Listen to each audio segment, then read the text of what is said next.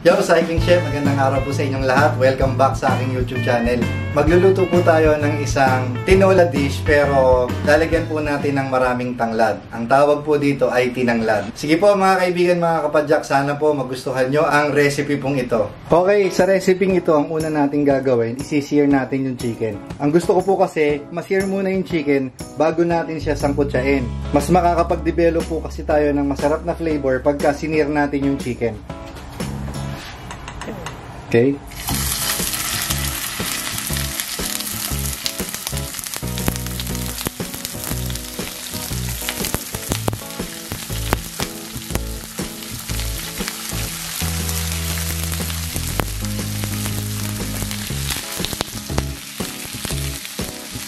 Going to add some salt habang sinisir natin yung manok.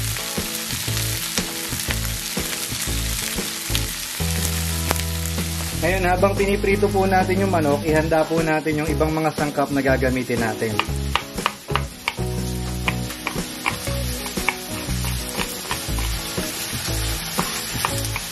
We have your onion. Slice lang natin ng maninipis yung onion natin.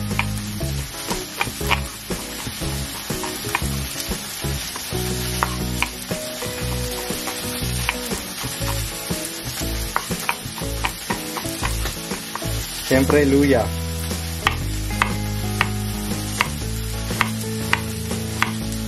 Ayan. Tapos yung tanglad po natin.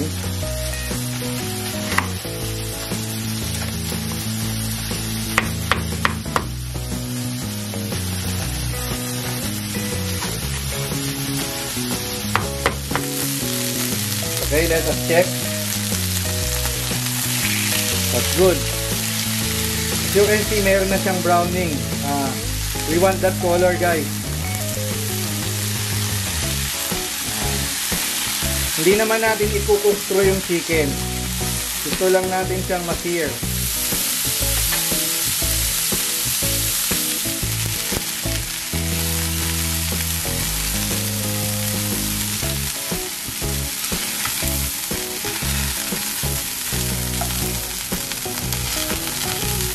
Okay guys, dito mismo sa pinagprituhan natin ng ating chicken, sosotay na po natin yung ating tinanglat.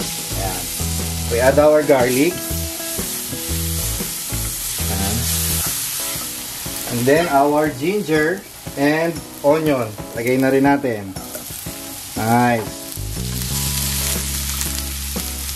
Sotay lang po natin na hanggang sa mag-translucent yung ating onion. Once it is translucent, isasama na po natin yung ating chicken. Okay, that's about it. Okay na po yung ating onion. Transfer na po natin. Itong mga nasa pan, nakadikit sa pan, dideglaze natin yan ng water. Lalagyan po natin ng tubig, babanlawan natin, tapos ilalagay din natin dito kasi merong flavor dito sa pan. Let's add our chicken, pati yung mga juices na pumatas. Yun oh flavor lahat yun. Okay, this time, habang ginigisa po natin, we are going to season this with 4 tablespoon of patis.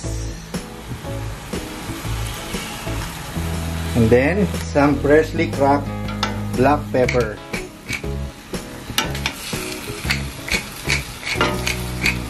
Bango.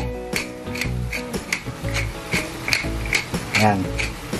So, sasangkutsayin natin siya about 5 to 10 minutes.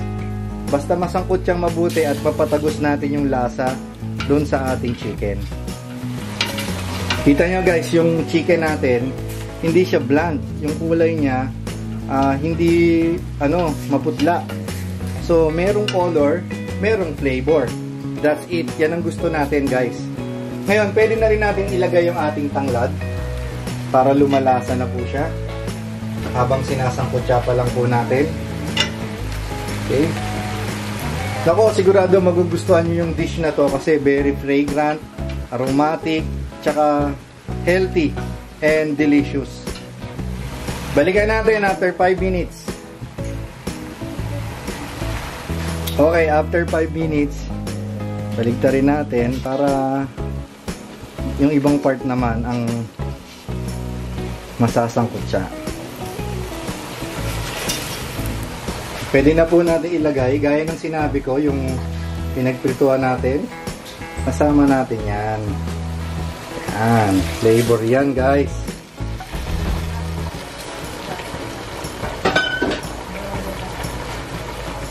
Okay.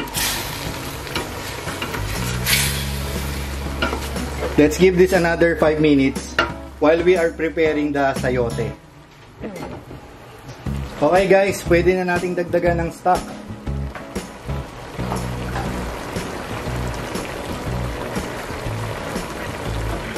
Alam nyo guys, nung pinabricate ko po itong chicken na to, ang ginawa ko, sineperate ko na yung mga mga buto.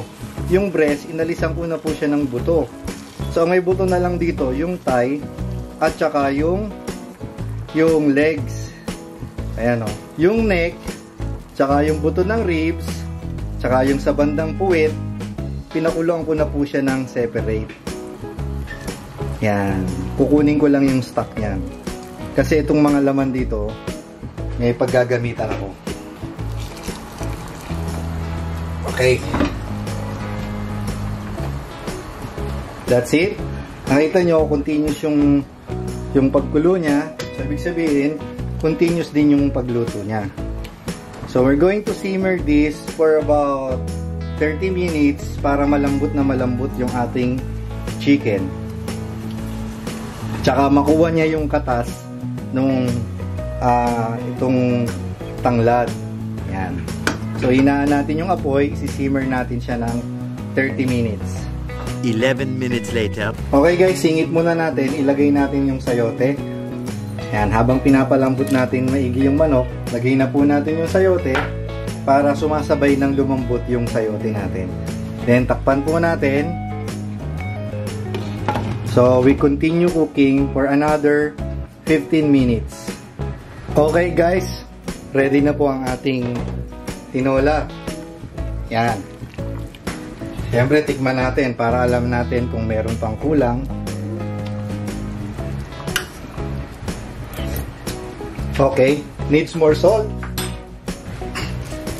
Mga 2 pinch pa ng salt. Then, lagay na natin ang mga sili. We break one para may anghang. Lakasan natin yung apoy. Yan. Bango. Bango ng sili, ang bango ng tanglad. Now, syempre, lagyan natin ng maraming malunggay leaves.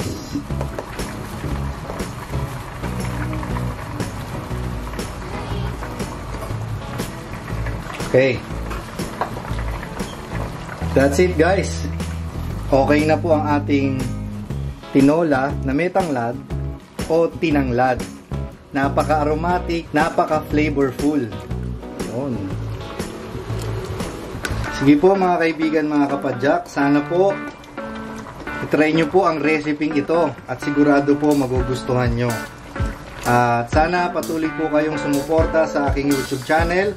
At sana po, please, sa mga hindi pa po nakasubscribe, like, and subscribe and hit the tiny bell button para updated po kayo sa tuwing nag-upload ako ng mga ganitong klaseng content. By the way, again, I am the Cycling Chef. Nagsishare po ako ng mga recipe kagaya nito at nagsishare din po ako ng mga videos about cycling. All about cycling and all about cooking. Sige po, maraming salamat po. Again, this is the Cycling Chef.